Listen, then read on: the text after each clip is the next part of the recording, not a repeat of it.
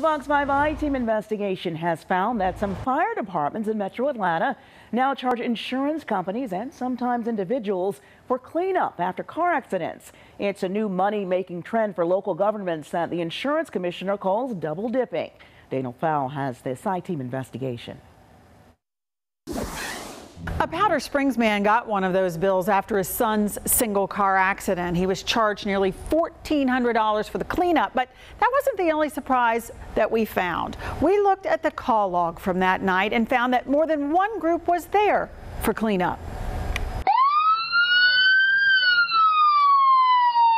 Last December, Late at night, Fredrick Turner's son fell asleep at the wheel after a long day in his first job out of college. It was just overworked, less sleep. The accident photos show the car went off this Lumpkin County road, hit a tree, landing back on the highway. The single car accident left some debris outside of the car door and here in the wooded area. And of course, there appears to be a trail of fluids. He received some uh, some care on the scene, I guess. Uh, just, you know, minor look abrasion above his eye. But he went to the hospital. In the end, his son had some minor injuries. And then, predictably, the bills showed up. A hospital bill wasn't that much. The tow truck tab wasn't bad either. 175 for the towing. But more than two months later, an unexpected bill came. The fire department has sent an invoice for cleanup. That's correct. How much are we looking at here?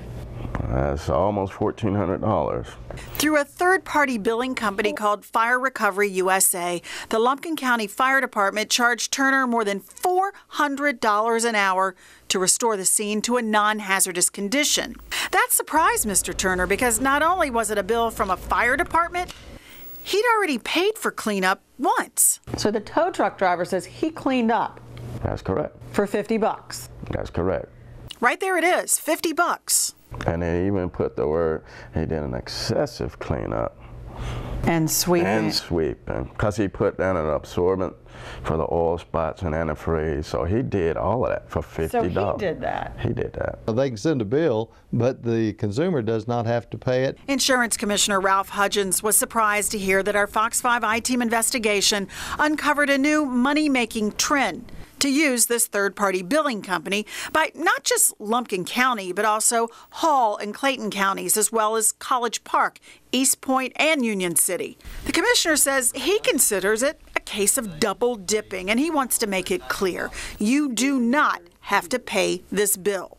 They're already being paid for it with the premium tax that we send them. The premium tax is paid by your insurance company. The money collected goes to local governments. State records show last year alone, Lumpkin County received $1.3 million earmarked for services like fire protection. Is there any reason the fire department should be getting an additional $1,400 for cleanup? No. I mean, I just, I'll just tell you no. The call log from the accident that night shows there wasn't just the tow truck operator and the fire department cleaning up. A county road crew also showed up, but they did not bill Mr. Turner.